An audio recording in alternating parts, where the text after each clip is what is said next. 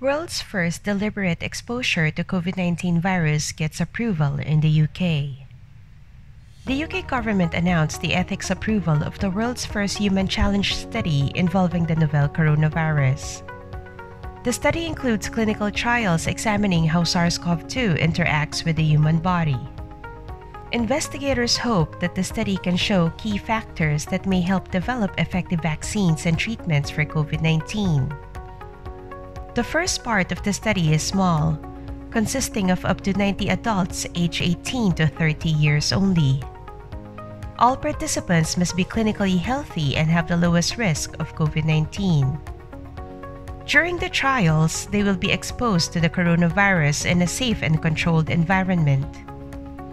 Kwasi Kwarteng, business secretary, said, These human challenge studies will take place here in the UK and will help accelerate scientists' knowledge of how coronavirus affects people.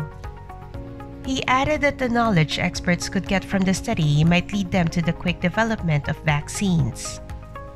The results from such studies would likely boost the progress of numerous researchers and scientists.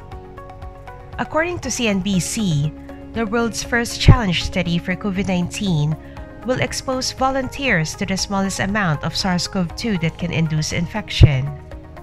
Investigators and medics will closely monitor every volunteer for safety 24 hours a day. The main objective of investigators is centered on how the virus is truly transmitted. One key factor they want to analyze is how someone who has COVID 19 can transmit infectious viral particles into the environment.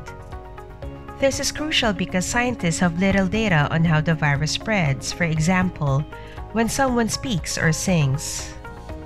To get real data, at least one person must be deliberately exposed to the pathogen, and that's why challenge studies are done.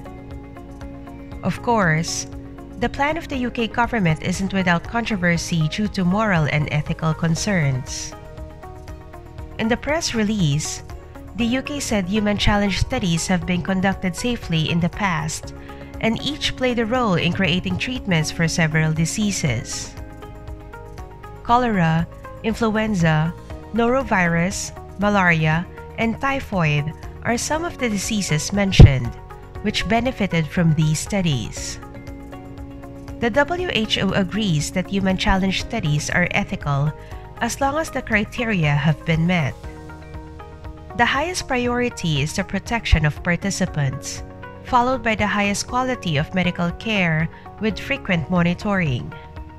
The small trial will commence at the Royal Free Hospital Specialist and Secure Clinical Research Facilities in London. These facilities are specifically designed to contain the coronavirus.